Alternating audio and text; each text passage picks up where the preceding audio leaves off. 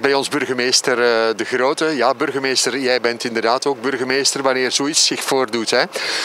wanneer was jou het nieuws te oren gekomen? Uh, wij zaten juist toevallig in een veiligheidscel van uh, de gemeente. We hebben wekelijks uh, vergadering met de veiligheidscel. En toen, op dat moment, vernamen we ook dat er brand was uitgebroken. Dat was rond kwart na twee. Dus we hebben dan onmiddellijk die veiligheidscel stopgezet. En we hebben dan ook gekeken of dat we niet de crisiscel moesten in werking laten treden. Om dan eventueel ook het gemeentelijke fase trampenplan in te roepen. Ik ben dan ook onmiddellijk ter plaatse gegaan. En dan hebben we hier beslist met de mensen, de verantwoordelijken van de brandweer, de officieren, om toch het uh, gemeentelijk rampenplan in werking te doen treden. Gregory, jij was er gisteren als eerste bij, eerste getuigen, vertel. Uh, ik zag het aankomen van op de Naastierlaan. Ik ben direct uh, met de liftwagen naar onze depot gereden, omdat we juist een nieuwe depot hebben in het Walletje. En ik dacht dat het bij ons aan het branden was. En als ik verder reed, zag ik... Bij ons, wat is dat dan? Uh, onze nieuwe depot in het Walletje. Van? Van Van Malen, van de verhuizing van Van Malen in Knokken. Uh, en ik reed verder en ik zag dat het bij iemand anders was, bij Warnieuw waar ik ook nog gewerkt had. Ik ben uit de liftwagen gesprongen, ik heb mijn blusapparaat genomen, ik ben daar van achter gelopen, maar ik kon het niet meer redden. Het was, het was te erg, het zat al in het plafond en zo en ik kon het niet meer redden.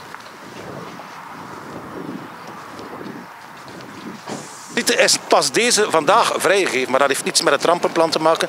De site is vandaag na onderzoek van, het, uh, van de branddeskundige is de site vrijgegeven. Ja.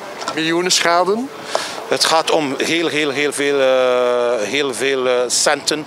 Maar ik denk vooral voor de mensen, voor de eigenaars van de drie panden, ook de mensen die hier iets schuurden, dat er heel veel naast het materiële, maar ook heel veel moreel, moreel uh, leed is, psychisch leed is ook. Gelukkig zijn er geen gekwetsten, zijn er geen slachtoffers, dat is het voornaamste. Maar toch, het wordt een werk van lange adem. Mensen zijn veel kwijt. Uh, ik denk maar gewoon hier aan het meubelbedrijf waar we hier, die achter mij staat. Die mensen zijn, alles is opgebrand. Die mensen naar de leveringen van luxe meubelen over heel de wereld. Die mensen zijn gewoon alles kwijt, al het materiaal. Die, man, die moeten van nul uh, vertrekken.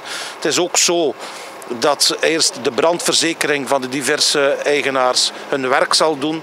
Maar ook iedereen die schade heeft geleden kan daar ook aangifte mee doen, uh, kan ook aangifte doen bij de politie hier in Knokkegeest. Heeft u enig idee, burgemeester, wat de oorzaak is? Daar heb ik nog geen uh, nieuws van. Dat is nog in onderzoek. De branddeskundige heeft zijn besluit gemaakt, maar ik heb nog geen bericht gekregen wat de precieze oorzaak is. Henk, inderdaad, een donderslag bij klaarlichte hemel. Uh, dat kun je in feite zeggen. We waren zo goed bezig. We dachten dat we ons beste seizoen ooit gingen hebben.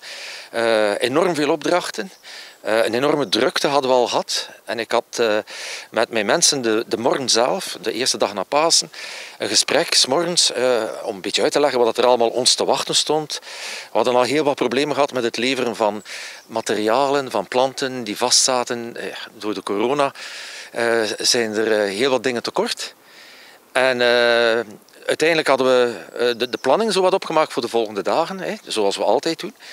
En ja, een paar uur later is, is alles weg in feite. Gelukkig hadden ze, waren al de voertuigen mee, dus iedereen was aan het werk en alle voertuigen waren buiten. En wat er in de voertuigen zit en wat dat er op de aanhangwagen stond, dat is het ene dat we nog hebben. Al de rest is gewoon in de brand opgegaan. Wat is er dan verloren gegaan? Oh, zetmaaiers, eh, tractor, eh, verschillende aanhangwagens, uh, hoge drukmachines, heel wat klein materiaal, ehm, heel wat voorraad. Er was Toevallig was er heel wat voorraad binnengekomen omdat de prijzen gingen stijgen. Dus de prijzen gingen stijgen vanaf 1 april. Dus we zeggen, als we hebben die materialen toch nodig, we gaan extra bijbestellen dat we een gans jaar voort kunnen. Zowel van beregeningsmateriaal, afsluitmateriaal, werkelijk voor vele, vele duizenden euro's nieuw materiaal. Dingen die we dus in de volgende weken gingen gebruiken. Tegels die binnen waren, eh, klinkers die binnen waren. En het is allemaal verdwenen. Allemaal Heeft u een idee van uh, het bedrag uh, in totaal wat verloren is gegaan? Uh, in totaal, u bedoelt het, ge het gebouw en, en, en, en, de inhoud. ik schat toch op ruim 1,8. Ja. Verzekeringen, experts lopen af en aan, neem ik aan? ze lopen af en aan en dat is ook een goede, hoe moet ik zeggen, een, een raad naar mijn mede-ondernemers. Verzeker u over want natuurlijk, wat, wat verzekeren ze? Wat uh, uh, er nog is. En alles die afgeschreven is, die telt niet, ondanks dat dat soms nieuw is. Het materiaal, dat moet je kunnen bewijzen, maar je bent maar verzekerd voor een bedrag. Als er meer in zit, ja, daar kun je niet aan doen. En dat zijn dingen die soms maar een paar dagen binnen staan. Hè. Ik, ik, het beste voorbeeld zijn bijvoorbeeld die tegels die binnengekomen zijn, die gingen deze week geplaatst zijn. Dat is een gans bedrag, maar die, die zijn niet verzekerd, want ze, het, het maakt het bedrag te hoog in feite. Ja bij, niet bij de pakken blijven zitten, dat is de optie. Hè? Well, er is geen andere keuze. Hè. Er is geen andere keuze. Uh, je moet zeggen, uh, het is wat het is. Hè. Uh, vanmorgen heb ik hier met mijn mensen, stonden we hier. Gisteren hadden we niet gewerkt. En toen zei ik ook, ik, nu kun je be, be, beseffen hoe dat die mensen bijvoorbeeld in Syrië die er ook niet konden aan doen. Hè. En ze zijn alles kwijt. Hier hebben we nog hulp gehad. Hè. Dus de, gelukkig, we hebben, we hebben een brandweer die functioneerde. Die heel lang geblust heeft, tot, tot, tot, tot vanmorgen nog. Dus twee dagen na de brand nog altijd bezig. Er is enorm veel solidariteit. De mensen vragen, kunnen we helpen? Heb je machines nodig? Ik heb mensen die uh, staanplaatsen voor, de, voor een korte tijd aanbieden. Uh, de, de bemoedigende gesprekken, telefoontjes, uh, de, de, de berichten, honderden en dat vind ik heel tof. En dan denk je zo in, in, in een Syrië of zo, die mensen moeten vluchten voor hun leven. En die zijn alles kwijt. Ik ga nog misschien iets recupereren van, van, de, van de verzekering. Uh, mensen zeggen, we, we, we, uh, we, kunnen op korte termijn uw machines leveren dat, dat, doet, dat doet echt deugd. Zoiets. Eh, is het de bedoeling van snel opnieuw te starten op een andere locatie? Nee, nee, nee. we gaan op dezelfde locatie uh, opnieuw starten. En het toeval was, we hadden plannen om het voorgebouw te vernieuwen. Het wat te moderniseren, want het was een beetje uit zijn voegen aan het groeien. Uh, we hadden extra mensen mee. We hadden zelf geen plaats genoeg als keukentje, kleedkamers en zo. En we waren nog vorige week aan het onderhandelen met, met, met de mannen. Wat vinden jullie nodig? Hebben jullie douchen nodig? Uh, wil, wil je, uh, de keuken moet die wat uitgebreid worden? Want s morgens we eten wat en zo.